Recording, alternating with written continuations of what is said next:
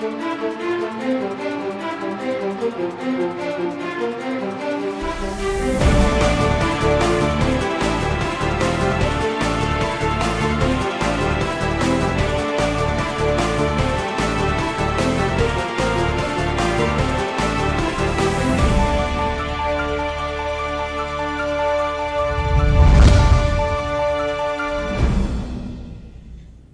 سلام به شما عزیزان در ایران. هر کجای ایران هستید در ساعت 9 سی دقیقه شب جمعه شب تهران. به تماشای تفسیر خبر از شبکه تلویزیونی ایران فردا نشستید و همچنین سلام به همه شما عزیزان در سراسر جهان که این برنامه رو تماشا می‌کنید. جمشید چالنگی هستم از واشنگتن با شما خواهم بود. مرور خواهیم کرد. مهمترین خبرها در عرصه داخلی ایران رو و همچنین خبرهای مربوط به ایران در عرصه منطقه‌ای و بین المللی آنچه میان دو جناح اصلی حکومت ایران میگذرد.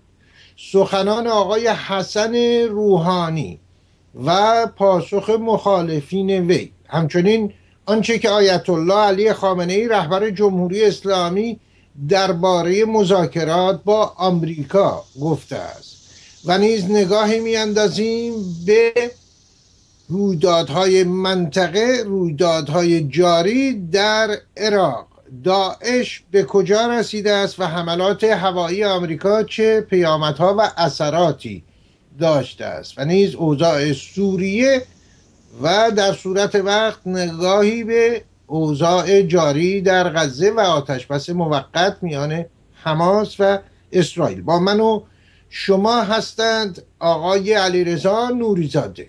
در جایی از اروپا با ما در تماس هستند از طریق اسکایپ و در واشنگتن آقای محسن سازگارا. با شما عزیزان خواهیم بود تا لحظاتی دیگر.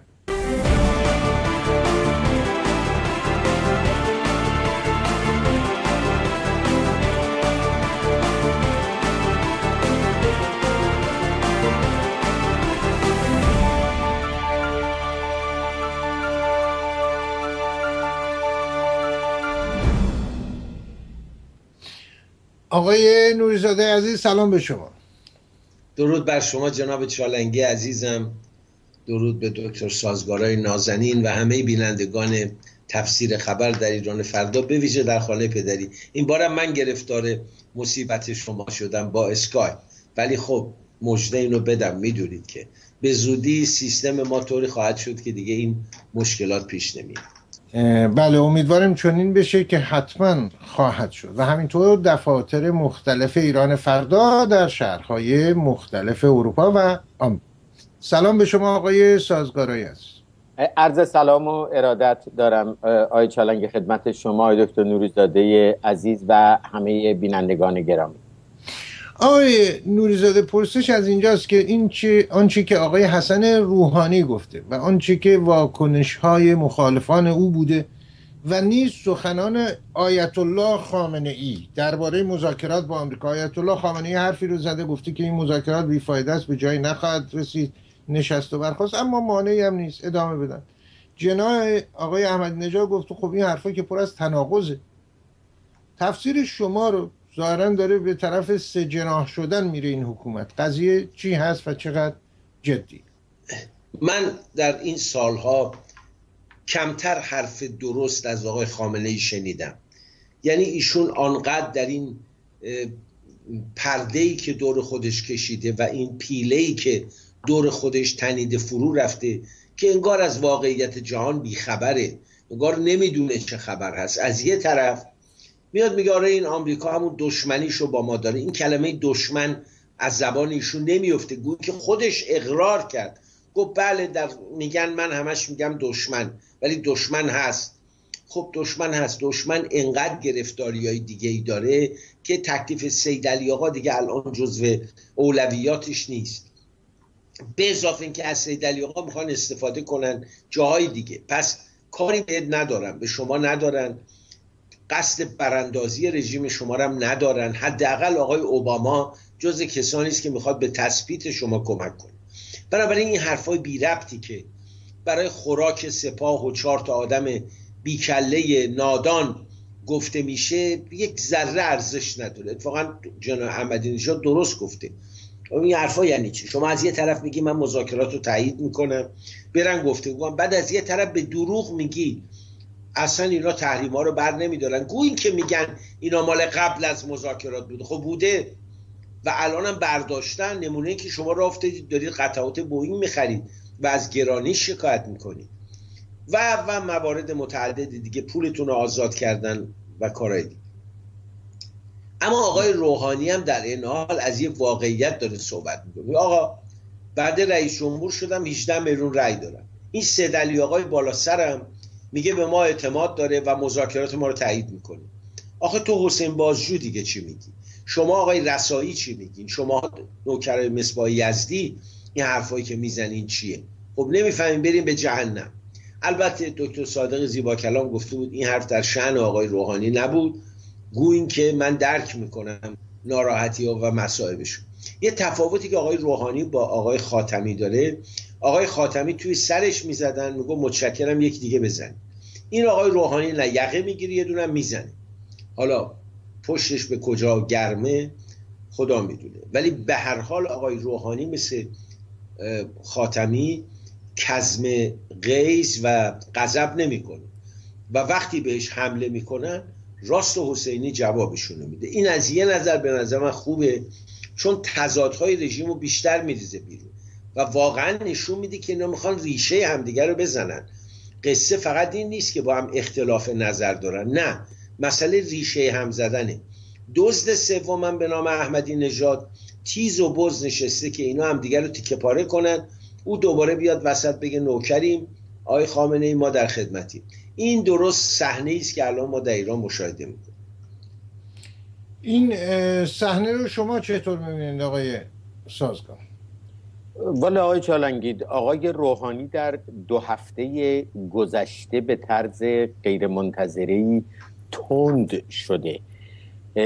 چه در شهر کرد چه در تهران در جمع سفرا. به نظرم سه دلیل من تا الان دیدم برای این تند شدن آقای روحانی. یکی این که اون مرکزی که از ابتدای سر کار اومدن آقای روحانی در سپاه اطلاعات سپاه به رهبری آقای حسین طائب و بسیج درست شده بود. به اصطلاح ستاد بنی صدر سازی می‌گفتن بهش به اصطلاح که آقای روحانی رو حتی در میان دوره بکشن پایین از قدرت.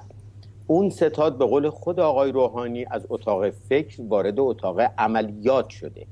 از جمله اینکه آقای جیسون رضاییان خبرنگار واشنگتن پست در تهران رو که ایرانی امریکایی هست دستگیر کردن بروندنش توی زندان فیلم ازش گرفتن اعترافاتی که بگه من جاسوس هستم و بعد چون خواهرزاده آقای روحانی آقای اسماعیل سماوی در نهاد ریاست جمهوری مسئول دفتر ارتباطات مردمی است و با این آدم تماس داشته او رو هم به جرم جاسوسی بگیرن یا حداقل یک ابزار فشار روی گردن آقای روحانی ایجاد بکنن.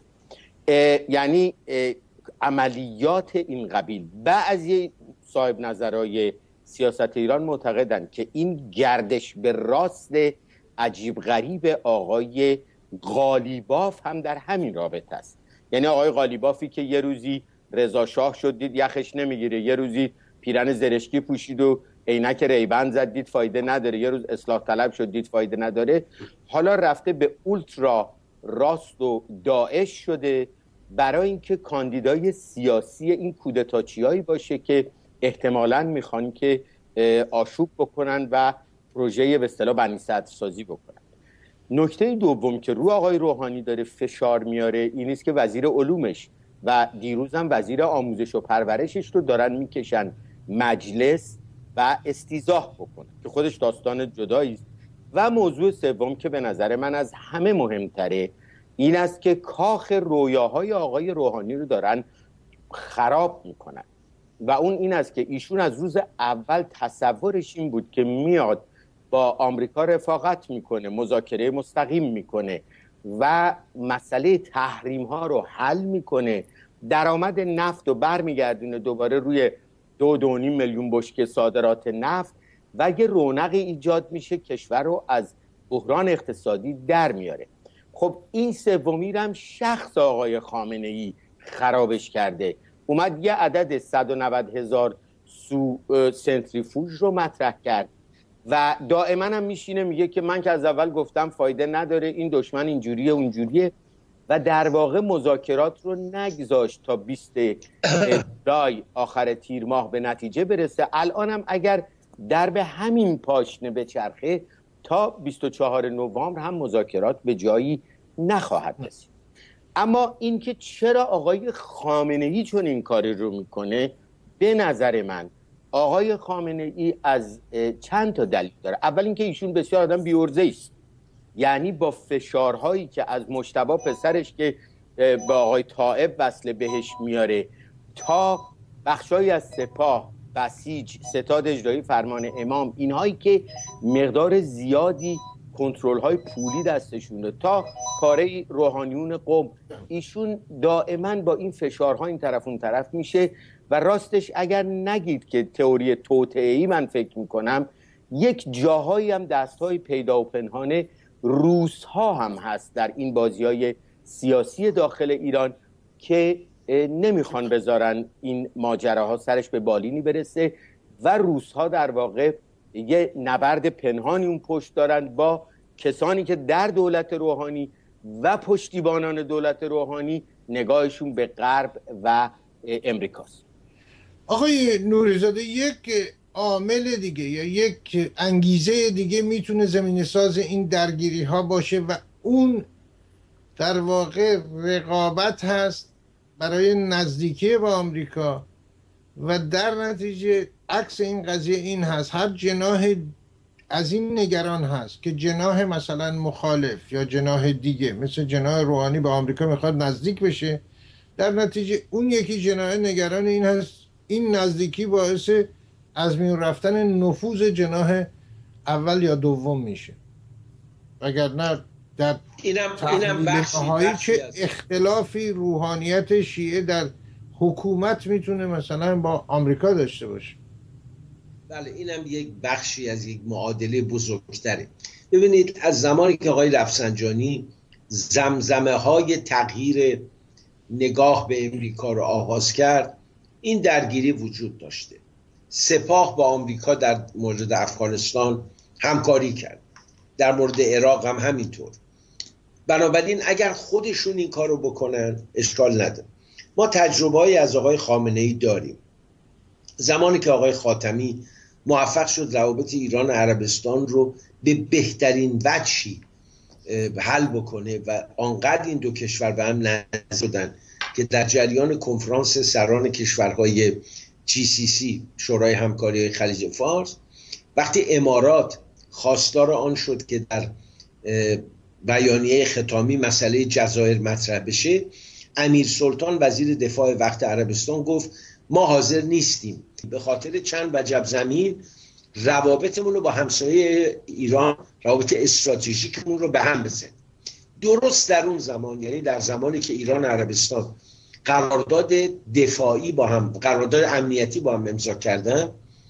عده ای از طلبه های سعودی که در ایران درس خونده بودن برگشتن به عربستان و در عوامیه آشوب بپا کردن و حتی نارنجک به سوی پلیس انداختن. بعدم گرفتن اعتراف کردن که ما دست آموز سپاه پاسداران این چی بود؟ پیام آقای خامنه ای به سعودیا بود که نخیر این خاتمی نیست شما دم منو ببین بعد لاریجانی رو با نامه فرستاد پیش سعودیا.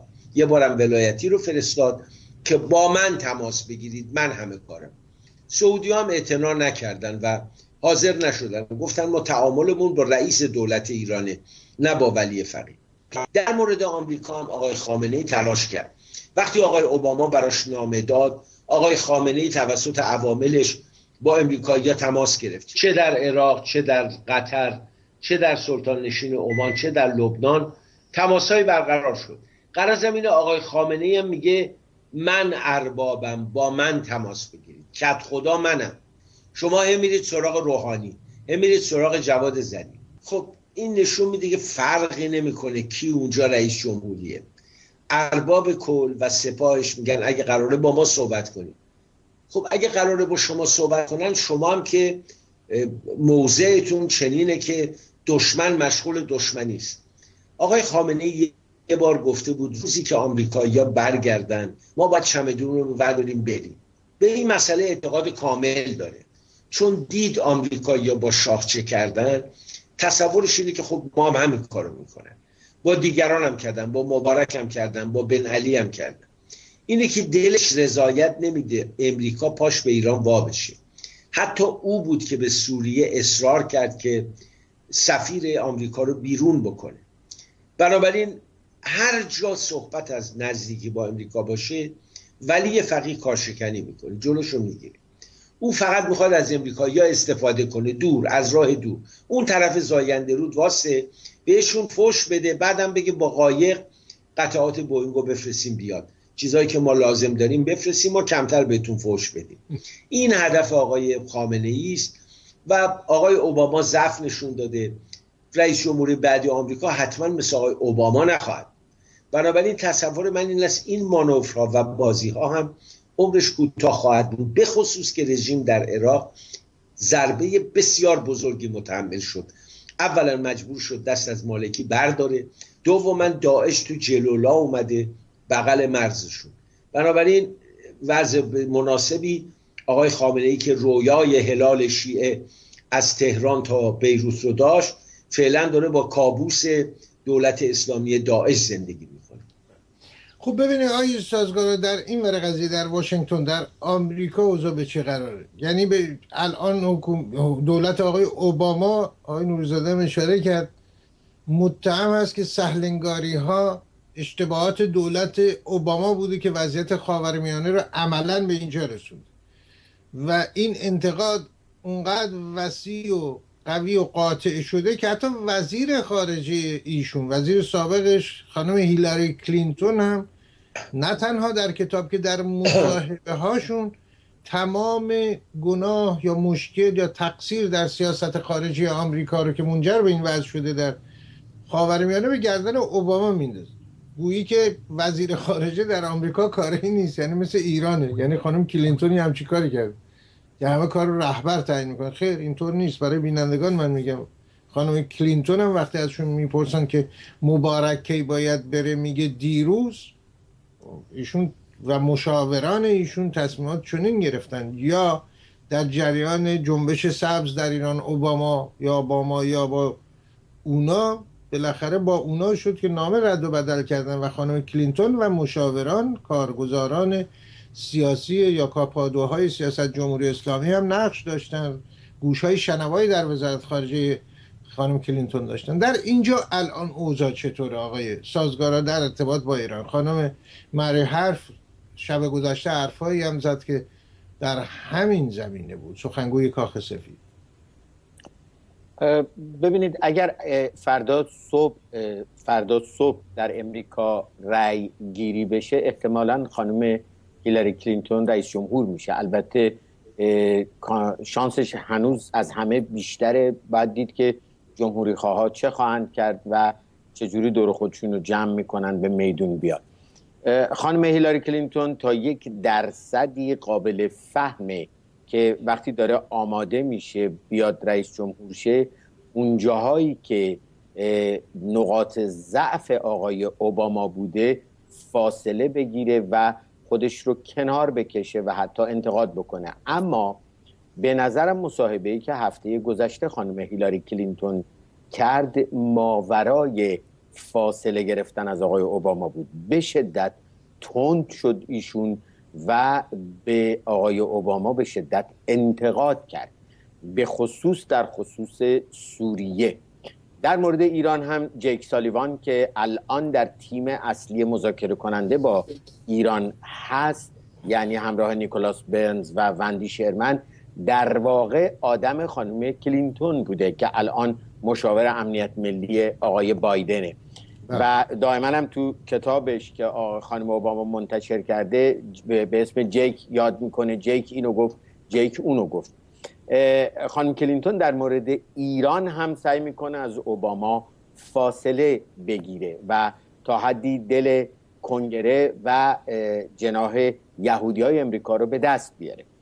اما همطور که شما فرمودین مخالفین هم بیکار نمیشینن. جمهوری ها از همین الان به اصطلاح سگک نشستند و گریبان خانم کلینتون رو بگیرن که شما در وزارت خارجه مثلا در مورد جنبش سبز به دروغ میگی که از ایران با من تماس گرفته بودند که ما هیچ موضعی نگیریم. واقعا هم آقای چالنگی من به عنوان یک شاهد در اون تابستون سال 2009 به سراحت عرض می‌کنم چون این تماسی از جانب ایران با خانم کلینتون نبوده که شما حمایتی نکنید به زیان جنبشه ایشون.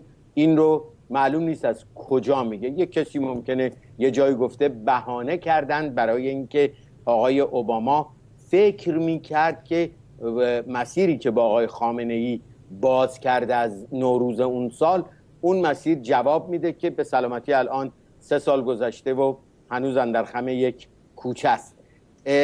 بنابراین در واشنگتن انتقاد به آقای اوباما در خصوص سیاست خاور میانه ایش خیلی شدیده حتی از جانب همحزبی و وزیر خارجه شاید آقای اوباما از این حیث منحصر به فرد باشه که تو دو وزیر کلیدیش یعنی وزیر دفاعش آقای گیتس و وزیر خارجش خانم کلینتون هنوز آقای اوباما توی آفیسه و پشت میز ریاست جمهوری به شدت بهش در کتاب خاطراتشون و در مصاحبه بله، بله. انتقاد کردن در مورد ایران هم به این دلیل آقای اوباما قصوری که در سوریه کرده قصوری که در اوکراین کرده قصوری که در مصر کرده قصوری که در مورد فلسطین کرده و غیره ایران تنها برگی که آقای اوباما امیدوار به جایی برسه و بتواند اون رو ارائه کنه و بگه که من دیپلماسیم جواب داد استراتژی خاورمیانه ایم درست بود و مثلا مشکل هسته ایران رو حل کردم اما به قول آقای جیک سالیوان که من توی یه صحبتی بودم یه, جایی بودم ایشون صحبت می‌کرد می‌گفت ولی ما قرارداد اصلا نبندیم به توافقی با ایران نرسیم بهتر از این است که بخوایم یک قرارداد بد امضا بکنیم بله. و می‌دونید این قرارداد بد ایشون البته فقط تصمیم ادمنستریشن و دولت رو نمیگه. مسئله این است که کنگره هم اجازه نخواهد داد که قرارداد شل و بدی با ایران ببندن. سهل است. به نظرم کنگره از مرخصی که برگرده آخر ماه آگست 15 روز دیگه به شدت به سراغ لوایح گذشته خواهد رفت و فشار رو روی ایران افزایش خواهد. آقای نوریزاده ببینید آقای خامنه یک حرفی زد که آمریکا تحریم ها رو زیادتر کرده و این مذاکرات نتیجه نداره و تحریم ها بیشتر و بیشتر شده. خانم ماری حرف ایشون اومدن و تکذیب کردن. یعنی عملا رهبر مسلمین و طبعا مسلمات عملا این حرفشون اساس نداشته پس دروغ بوده. چون اینجا تحریم های بیشتر رو علنی خواهد بود کنگره میره تصویب میشه مطبوعات میاد. بنابراین ایشون هم با استناد به همین چیزه بود. البته خانم حرف دیروز کرف دیگه هم زد ایشون. گفتش که ما ادامه میدیم این داستان و ببینیم در حاشیه نشست سازمان ملل هم در سپتامبر هم باز مذاکراتی انجام میشه و ما ببینیم تا چه اندازه ایران جدی است در این مذاکرات. آیا زمان کافی نیست واقعا؟ این همه سال. که فهمیده بشه جایی مثل واشنگتن که بفهمن واقعا ایران جدی است یا نیست جمهوری اسلامی جدی است در این مذاکرات یا نیست؟ یا این بره اون یکی بیاد شاید جدی شد انشالله بهتر میشه. قضیه چی هست؟ ببینین. آقای یه نکته رو من خدمتتون بگم. آقای خامنه ای یه پیله انعزال به قول عرب ها دور خودش کشیده. هر کی میاد اونجا میگه شما سرت مثل سر شاه کرد مثل حضرت علی صاحب کرامت و معجزات هستی. تو جمکران با امام زمان حرف می‌زنی. پاشو میبوسن. و مصباح یزی رو پاش میفته. و امثال اینا آقای خامنه ای دوچار یه توخمه در یه توخم زندگی می‌کنه. توخم ایجاد دروغ می‌کنه. یعنی شما تو توهمات خودتون که هستی دنیا رو با توهمات تفسیر می‌کنه یه نکته رو براتون بگم بخوام تفاوت شیخ بهرمانی رو با ایشون بگم. عده ای از وکلا رفته بودن دیدن آقای هاشمی و اینو من خصوصا فهمیدم داستانش. در اون جلسه آقای هاشمی صحبت کرده بود که آقا آقای مهدی خزعلی نبودن درشون به عنوان نمی‌دونم نمی‌دونم بودن ایشون وکیل نیست. ولی وکلای خیلی سرشناس که من شما هم میشناسینشون بودن. آقای رفسنجانی می‌دونید با رئیس کانون وکلا رئیس سابقش هم همشهری و خیلی با هم دوستن. در هر حال اونجا ایشون گفته بود نگاه کنیم من ستلایت دارم. تمام کانال ها رو می‌بینم فوشایی به خودم یا همه اینا رو میشنوم. و در این حال یه عده مشاور دارم که تو خود شما هم هستین.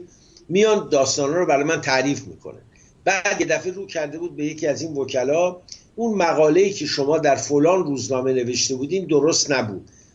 حالا در راجع به آقای رفسنجانی گفت تو تعبیر و تفسیرتون درست نبود. که اون وکیل حیرت زده بود یه روزنامه ناشناسی فلانجا مطلبه حالا تفاوتش با آقای خامنه ای اینه. آقای خامنه ای تنها چیزایی رو که دوست داره دستشین می‌کنن بهش میدن. یه وقت می‌گفت به رضاشاه نمیشه خبر راست رو نگفت ولی به شاه باید خبر غیر راست رو گفت. اینو به شاه بیچاره نسبت دادن. ولی الان نماد نمونه آقای خامنه است. که ایشون خبرهای خوب رو می‌خواد بهش بدن. بیان بگن پنج هزار بسیجی سراشون رو به دیوار زدن گفتن یا سید علی. از این چیزا تو لبنان برای شما هورا کشیدن. حسن نصرالله یه ازتون تعریف کرد. در سوریه مثلا در قلمون عکس شما رو گذاشتن رو مقبره حسن فلان. ایشون از این چیزا عشق می‌کنه. حالا آقای نوزاده چیز دیگه است. من میگم برای این مدت کافی نیست که مثلا آمریکا یا بقیه تشخیص بدن که آقا حکومت ایران یک اولا یک پارچه است. و اگر یک پارچه هست تصمیم گیرنده نهایی یک نفر هست یا نیست این مدت کافی نیست بفهمن جدی در مذاکرات اتمی یا نه. چون سخنگوی کاخ سفید تازه الان میگه ما داریم ادامه میدیم ببینیم تا چند اندازه ایران جدی هست؟ آقای چالنگی آمریکا دستگاه اطلاعاتیش دقیقا می‌دونن در ایران چه خبره. دقیقا می‌دونن. وقتی رنگ پیژامه آقایون رو می‌دونن دیگه خبر دارن که چه خبر اونجا تو جلسات خصوصی و تینک تنک های آقای خامنه ای چی میگذره. ولی آقای اوباما خودشو می‌خواستم به اینجا برسم که یک آدم وهمگرای دیگم در کاخ سفیده. دچار توخمه آقای اوباما دچار توخمه توهمش هم اینه. البته واضح و مبرهن است که جنگ چیز بدی است و صلح چیز خوبی است. باید با همه آشتی کرد. حتی با آن کسی که چندین هزار سرباز آمریکایی رو کشته سفارت آمریکا رو تو بیروت منفجر کرده تفنگدارای دریایی آمریکا رو کشته بمب کنار جاده تو عراق گذاشته تو افغانستان آشوب ایجاد کرده حتی با اون باید رفت مسالمت کرد. اینش رو دیگه تاریخ ندیده. یعنی آدم دا این حد بی غیرتی ببخشید تاریخ ندیده. و نمیگم آمریکا با ایران باید بره جنگ کنه. ما همه ضد جنگیم. اما دولت آمریکا در برابر جمهوری اسلامی اگر با قاطعیت عمل کرده بود امروز جمهوری اسلامی دنبال برنامه اتمی نبود. در عراق اون بازی ها رو در نمی آورد که چهار سال یک انسان حقیر دزد آدمکش رو به ملت عراق تحمیل کنن. چون آقای خامنه ای دوستش داره. چون کرواتش رو وا می‌کنه میره پای آقای خامنه ای رو میبوسه. اینو آمریکا کرد. الان نفرتی که از آمریکا تو مصر تو عراق تو کشورهای منطقه ایجاد شده بی سابقه است. زمان آقای بوش وقتی عراق رو فتح کرد مردم عراق میپرستیدنش. بوش پدر وقتی کویت رفت نیمی از بچه ها رو اسمشو گذاشتن بوش. در حالی که تو دنیای عرب رسم نیست. چه محبوبیتی امریکا در منطقه داشت. و آقای اوباما این محبوبیت رو به صفر رسون و امروز به خاطر سیاست های غلطش مردم ایران که بزرگترین دوست آمریکا بودن و نشون دادن عواطفشون رو بعد از 11 سپتامبر. مردم ایران امروز سوال می‌کنن آیا واقعا این رئیس جمهوری کشور ابرقدرت این آدم رئیس جمهوری ابرقدرت اسرائیل می‌زنه داغون می‌کنه غزه رو. این آقا نشسته تماشا می‌کنه. از اون طرف جمهوری اسلامی اون سیاست ها رو به کار مره همینجور نگاه می‌کنه. اینی که واقعا اعتبار اوباما به صفر رسیده و با این اشاره ای که به رفسنجانی کردید خب به هر حال هر کسی رو میشه با آقای خامنه از این بابت مقایسه کرد. تو خب آقای رفسنجانی همین که ایشون ماهواره می‌بینه یا اقداماتی نه نه من چیزی خواستم کلی مملکت دستش بود و نه ببینید من اصلا نخواستم از رفسنجانی این تعبیر اشتباه نشه. بله بله بله راجب, دشمن که داره حرف می‌زنه دشمن دانا و دشمن ناآگاه. دارم میگم رفسنجانی حداقلش اینه که می‌دونه چه خبر دور حداقل می‌دونه چقدر باش بدن چقدر چه جوریه. اینا رو می‌دونه. ولی آقای خامنه در رو به روش بستن. نشوندنش اونجا پای منقل و میگن آقا تو هیچ ناراحت نباش. همه چیز بر وفق مراد مثل ناصرالدین شاه. خب یه روزی چهار بارم اگه لازم شد دو تا سرم براشون می‌برن دو نفرم تو زندان می‌کشن تا آقا خیالش راحت بشه که کشور امن و امانه. فرق داره این این هم تعبیر یعنی تعبیری است و امیدواریم یعنی اینی که آقای رفسنجانی ماهواره می‌بینه یا اینا الان روشن شد. که سودی برای مردم نداره این دیدنش نه, نه برای خودش داره. برای خودش داره خودش حداقل برای ایشون می‌بینن که در دنیا چه خبر سهامشون و کارگزارانشون که تکنوکرات های بسیار کارشناس هم هستن براشون کار می‌کنن. از آقای وحید علاقمند گرفته زمانی تا بقیه براشون کار می‌کنن سهامی می‌خرن میفروشن خانه در ارز کنم قیمت ملک و زمین و هر چه که هست در کانادا چقدر هست؟ باید هم دنبال کنن. بله بله. آقای سازگار صحبت همین موضوع شد. آقای حسن روحانی حرفی زده در صحبتاش قابل تحمل گفته ما اینجا اسم نمی‌بریم از کسانی که این پول ها رو گرفتن. همین میلیارد هایی که مال بچه ها هستن. مال بچه های مردم بچه های خوزستان کارتون خواب ها بچه های دروازغار که خرید و فروش میشن بچه های کرمانشاه. که به گفته یکی از مقامات خودش. همین همین پولایی که دزدیدن بردن گرفتن وام گرفتن ندادن. میگه ما نمیگیم اسامی نمی‌بریم آبروشون رو حفظ می‌کنیم. خودشون بیان این پولا رو پس بدن. چطوره که مثلا آبروی این آدم ها که میلیارد ها دزدیدن و وام گرفتن و پس ندادن باید حفظ بشه.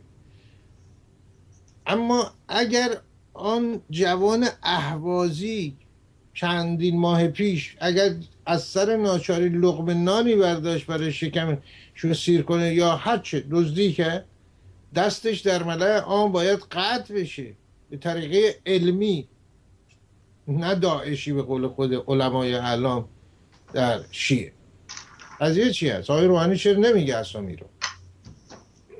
البته ببینید یک بخشی از کشمکش های فعلی که ستاد پایین کشیدن آقای روحانی فعال شده اتفاقا به همین ماجرا برمیگرده. یعنی آقای روحانی حالا افشا کردن نام 600 نفر که بیش از 150 هزار میلیارد تومن به گفته آقای ترکان پول بانک ها رو خوردن و پس ندادند یک, ما... یک طرفه سه هزار بیش از سه هزار بورسیه که مقامات قبلی فرزندان علما و غیره خارج از روایه که از بچه ها و اعوان و انصار نمایندگان مجلس گرفتند با معدل 13 و 12 و خارج از هر ضابطه ای یک داستانه مسئله 9 میلیارد دلاری که آقای بابک زنجانی خورده و پس نداده و بعد هم خودشون میگن لاقل 9 تا بابک زنجانی دیگه هم هست و گروه های پشتیبان اونها. که آقای زنگنه گفته بود که کسانی هستند که تنها نیستن اینها. پشتیبانان پرنفوذی دارند این کشمکش آقای چالنگی من حالا نیستم جای آقای روحانی ببینم که اعلام کردن در این مقطع یا اون مقطع به صلاح هست یا نیست. ایشون بازی قدرت رو چجوری داره می‌کنه؟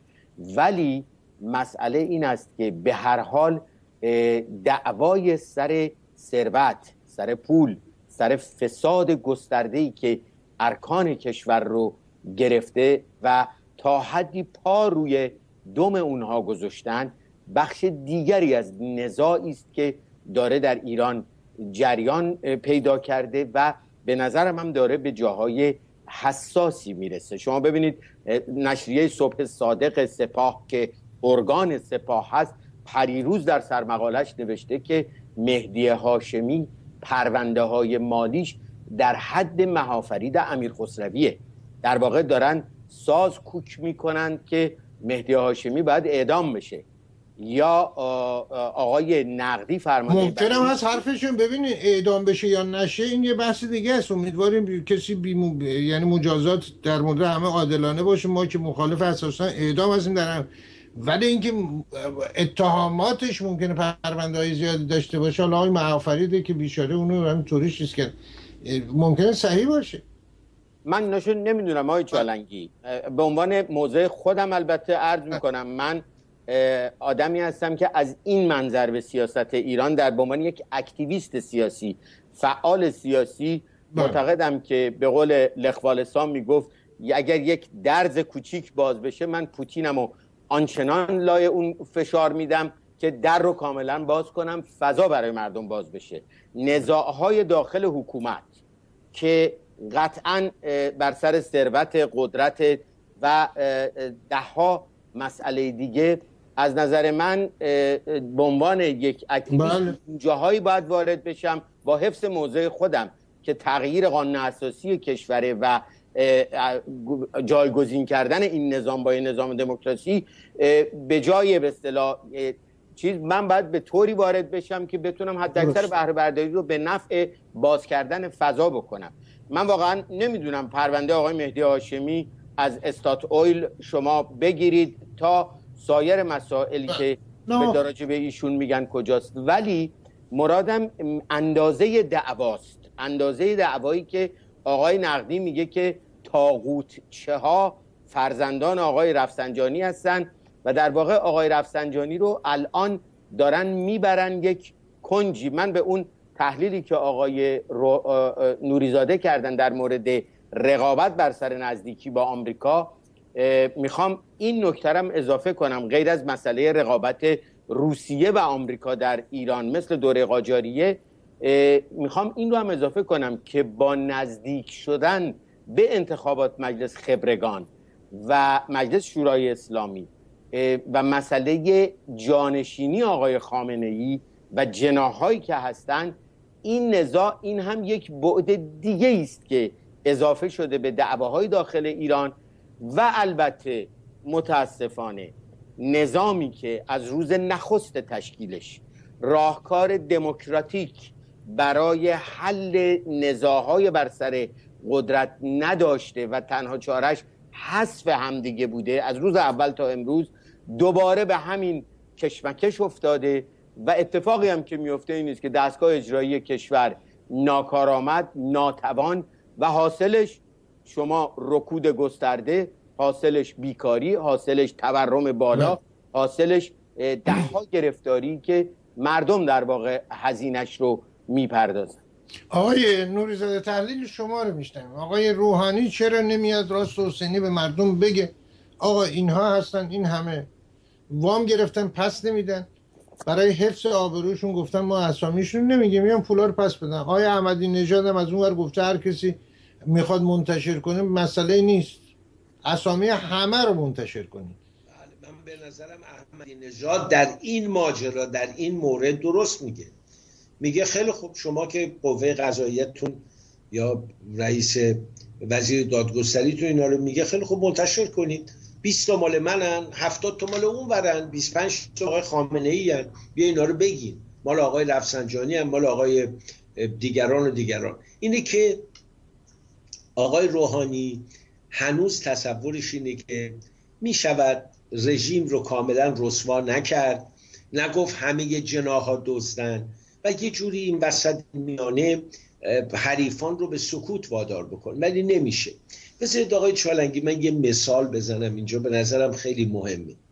شما بعد از خلیفه دوم در صدر اسلام که خود خلیفه دومم به قتل رسید توسط یک ایرانی که سردار ایرانی که غلامش کرده بودن و آزارش می‌دادن و خب این فاجعه اتفاق افتاد. خلیفه دوم به ضرب خنجر کشته شد. بعد خلیفه سوم در اون شورش عثمان عثمان ابن عفان به اون صورت به قتل رسید که فرزندان حضرت علی حسن و حسین به دفاعش رفتن. بعد حضرت علی کشته شد و نگاه کنید حکومت اسلامی تا 100 سال 150 سال بعد دو چهار کشتار و درگیری و به هم زدن. چرا؟ چون این قرآن رو برداشته بودن و سنت و غیره می‌گفتن بر اساس این باید حکم کنیم. حالا 1400 سال بعد یک مش آخوندی که اغلبشون بی خدا و بی دینن. من قسم برای شما می‌خورم این آقای مصباح یزدی در عمرش دو رکت نماز صحیح نخونده و بقیهشون همشون از دم صادق لاریجانی خدا رو باور داره. اینا اومدن حاکم شدن. حالا اینا میگن که آقا من آخوند تحصیل کرده دانشگاه اسکاتلند من دنیا رو بهتر از تو می‌فهمم. من دکتر حسن روحانی هم. اونم میگه برو بابا تو خودت تو حوزه شاگرد من بودی.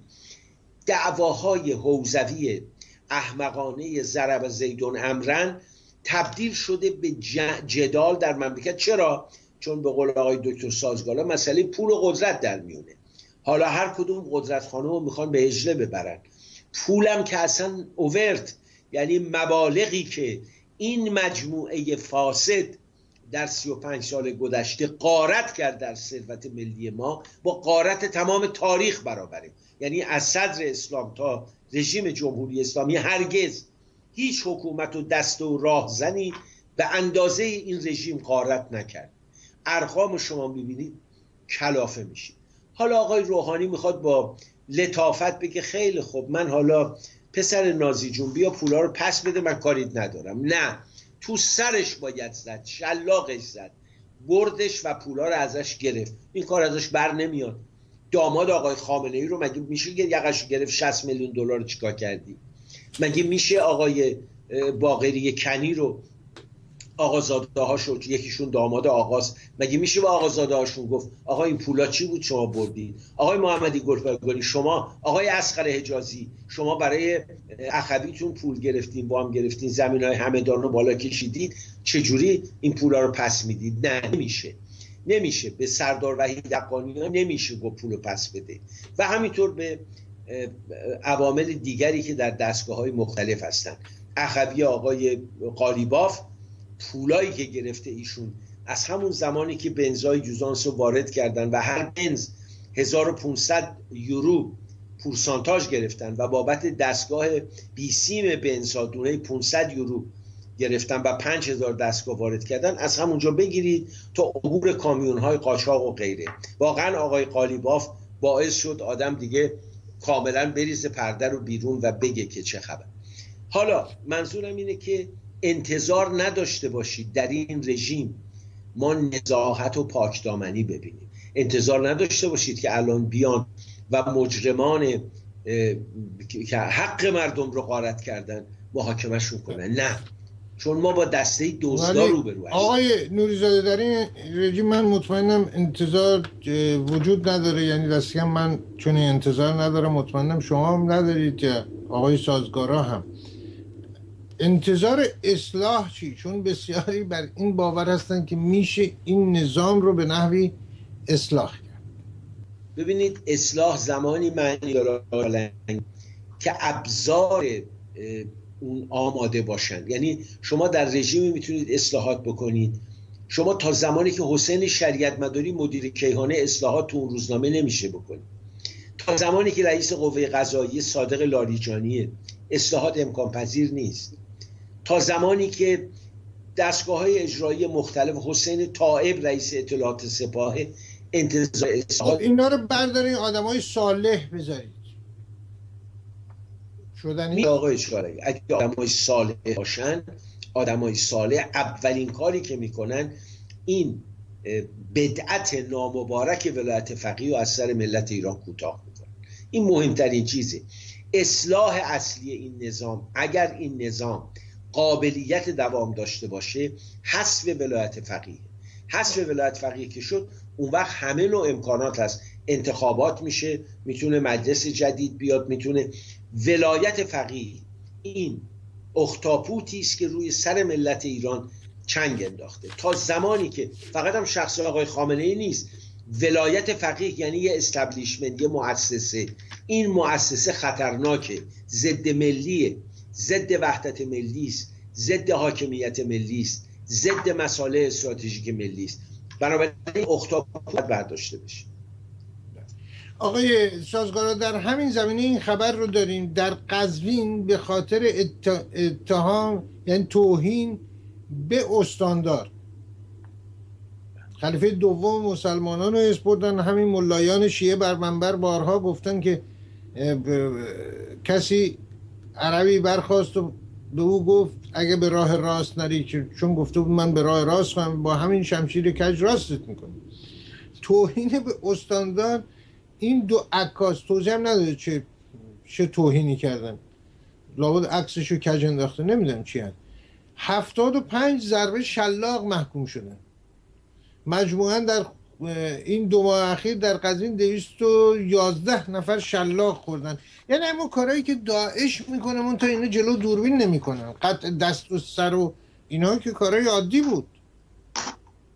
یادمون نره که این کارها شده و جز قانون هست. و بعد آقای یکی از همین لاریجانی های انواع اقسام هست دیگه. لاریجانی از دست ما در رفته. چند تان چجوری چند یکیشون محمد جواد لاریجانی که گفته آقا ما اصلا باید نمونه حقوق بشر هستیم این حرفا چیه در جهان باید بیان از ما الگو بگیرن. برای همین کارا دیگه. همینجا وسط میدون واشنگتن شلاق و تشکیلات و اینا باید رانداختی برای رعایت حقوق بشر. تفسیر شما رو میشنم یه همچین حکومتی رو چه باید کرد؟ به قول کسی می‌گفت تقصیر جمهوری اسلامی است که قوه کم داره. این برادرای لاریجانی بعضیشون رئیس قوه‌ای بهشون نرسیده. آقای صادق لاریجانی هم آقای خامنه ای دوباره برای پنج سال دیگه تمدیدش کرد ایشون رو. انصافا ننگ دادگستری و امر قضا باید خوند آقای صادق لاریجانی رو. بر حال آقای چالنگی در کرمانشاه هم استاندار گفتن مطبوعات اونجا محلی بالای چشمش ابروس گرفتن بستن و بگیر و ببند کردن. من یادم اول بار که من یک هفته نامه منتشر کردم سال 1368 یک خبر کوتاه گذاشتیم که آقای خامنه ای تازه یک سال بود رهبر بود که ایشون شمخانی رو به فرماندهی نیروی دریایی منصوب کرد. فعل مفرد به کار برد. دو ساعت بعد از دف وقتی منتشر شد از دفتر ایشون زنگ زدن به من گفتن نه خیر شما باید فعل جمع به کار ببرید. بنویسید ایشون منصوب کردند یعنی جمعا جمعا بله حالا من واقعا اون موقع به دوستانمونم گفتم بنده همچین کاری نمی‌کنم بنابراین از این به بعد اصلا تو این هفته نامه هیچ خبری از آقای خامنه ای درج نکنید. و فراموش کردیم ایشون رو. ببینید ماجرا گفت ماهی از سر گنده گردد نیز دو. شما وقتی آقای خامنه ای نمیشه کمتر از پیغمبر و خدا خطابش کرد. نمیشه بهش انتقاد کرد. هر دروغ و دبنگ و هر حرف مزخرفی رو ایشون بزنه که ده حلوا حلوا می‌کنن روی سرشون می‌گذارن و باید بگن به به باری کلا مثل این باروری و عرض شود که افزایش جمعیت که مردم آب ندارن بخورن. یا مثل دستگاه های زیر نظر ایشون که هواپیمای قلابی در واقع موتور اشتباهی و برای شرایط اوکراین درست شده رو آوردن مردم رو سوار کردن به کشتن دادن و امثال هم همه زیر نظر ایشون وزارت دفاع. مستقیما. یک کلمه به ایشون نمیشه حرف زد. طبیعی است که به استاندارش هم که برسه و انقریب فرماندارش هم همین جور میشه. برای اینکه دموکراسی نیست برای اینکه احزاب رقیب نیستن. مطبوعات آزاد نیست. اقتصاد آزاد نیست. انحصار ثروت و قدرت در ولایت فقیه فساد میاره. به قول اون جمله معروف که قدرت فساد میاره قدرت مطلقه مطلقا فساد میاره. چاره کارهای چالنگی غیر از حذف اصل 110 در قانون اساسی که نهادی به نام ولایت فقیه در واقع هر کاری دلش بخواد به موجب این سند به نام قانون اساسی حق دارد بکند و به هیچ کس پاسخ نده. غیر از اون اصل چهار قانون اساسی هم باید عوض بشه. اصلی که حد عقل بشری رو گذاشته یک سقفی به نام شریعت به قرائت شش نفر فقهای شورای نگهبان. در واقع این نکته است که قانون اساسی جمهوری اسلامی که از نظر من قانون نیست قانون اساسی جمهوری اسلامی خلاف عصر مدرن خلاف اقلانیت مدرن و خلاف تمام دستاوردهاش. میشه بنابراین به بله. این دلیله که این نظام یک بار هم امتحان شد در جنبش اصلاحات. اصلاح پذیر نیست مگر قانون اساسیش تغییر کنه تغییر ماهیت پیدا بکنه. آقای نورزاده شریعت و اسپودن قرائت های مختلفی از شریعت در منطقه جاری است. و از داعش بگیرید طالبان القاعده بگیرید حوتی های یمنی بگیرید اخوان المسلمین بگیرید قرائت کرواتی اسلام بگیرید در ترکیه و انواع و اقسامش جاری است خوشبختانه. یعنی هم خلیفه داریم هم امام داریم هم امیر داریم. کم مونده پیامبری هم یه کسی هم ادعای پیامبری بکنه در منطقه. چه کسی به فکر فرزندان نازنینان کودکان ایزدی هست؟ کودکان کرد مسیحی هست. گفتن گوشت دم توپ و گوشت دم تیغ داعش شدن به خاطر معاملات یا به اصطلاح مسلحت های سیاسی گروهی. دیروز گفتن همجنسگرایان سلفی با بغدادی بیعت کردن به عنوان امامشون. دیگه همه نوعشو داریم دیگه. حالا به هر حال ترانسوستال های اسلامی هم بیعت می‌کنن و همه جور به هر حال اسلام ناب انقلاب محمدی به حمایت آمریکا در همه منطقه سایه افکن شده. روزی که رفتن و اخوان مسلمین مصر رو اونجور زیر بال گرفتن شما فکر کنید با آنچه آقای خمینی و سید رولای مصطفوی در این جعبه پاندورا باز شد و از توش نفرت و کین و آدمکشی بیرون اومد و تا امروز ادامه داره. و خوشبختانه می‌خوام اینو بگم. باز هم تقدیر و شگفتی خودم از مردم مصر نمی‌تونم پنهان کنم. این مردم بزرگ اخوان مسلمین رو به زمین زدن و شاهد افولشون خواهیم بود. الان در عراق اگر این نوری المالکی رو که عاقبتش عاقبت خوشی نخواهد بود کنار زدن و این آقای حیدرالعبادی که حالا نمیگم پیغمبره ولی آدم تحصیل کرده روشن هست. بتونه یه کابینه وحدت ملی دونه شر داعش در عراق کنده خواهد شد. و امیدوارم روزی را ملت ما ببیند که این اسلام ناب انقلابی محمدی این آویزه ای که بر گردن ما آویختن بله. آقای کارتر و دستیارانشون و مسیر جنبش مردم رو که به بختیار رسیده بود منحرف کردن امیدوارم روزی هم ما ما شاهد باشیم. حالا اگر خدا بخواد زنده باشیم. جناب چالنگی عزیزم اجازه بدید در این فرصت کوتاه من رفیق و همکار عزیزمون ناصر محمدی در سوگ پسرش نشسته و صمیمانه از جانب خودم شما دکتر سازگارا و همه همکارانمون به او تسلیت بگم و همدردی خود رو به او و همسرش و برادر این نازنین از دست رفته ابراز کنم. به نمایندگی از ناصر عزیز سپاسگزار هستیم. همچنان که روز گذشته در برنامه های مختلف شبکه تلویزیونی ایران فردا همه همکاران ما در ایران فردا با ناصر عزیز ابراز همدردی کردند سپاس از شما. و با امید بسیار به اینکه روزی روزگاری تمام دولت ها در منطقه به مسئولیت های خودشون دست کم در قبال حفظ جان افراد تحت قلم روشون عمل بکنن از جمله دولت جدید عراق و همینطور دولت خودمختار کردستان. به وظایف خودش در برابر مردمان کرد غیر مسلمان کردهای ایزدی و کردهای مسیحی نیز عمل بکنه.